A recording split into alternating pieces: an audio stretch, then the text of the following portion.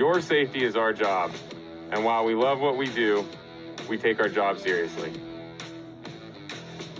After years of study and experience, we've learned what it takes to give you the knowledge for a safe and successful day at the mountain.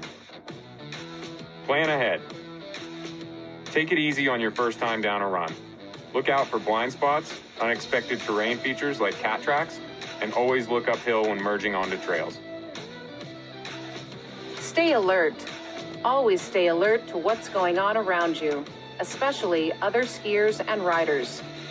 Be aware of changing conditions in the snow and the environment around you. Be ready. Be ready to slow down or avoid objects or other people at any time. Always stay in control and be ready to avoid other skiers, riders, or objects on the run. These are three simple actions you can take to help keep you safe on the mountain. When you take these steps, you're demonstrating respect for the mountain, staff, and riders around you.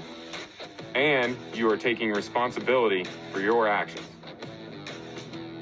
This means you're thinking about more than yourself. You're thinking about the safety of your fellow skiers and riders.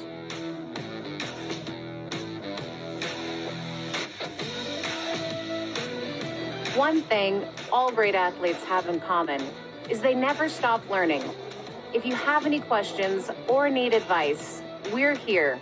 We're here. To help you ride another day. To help you ride another day.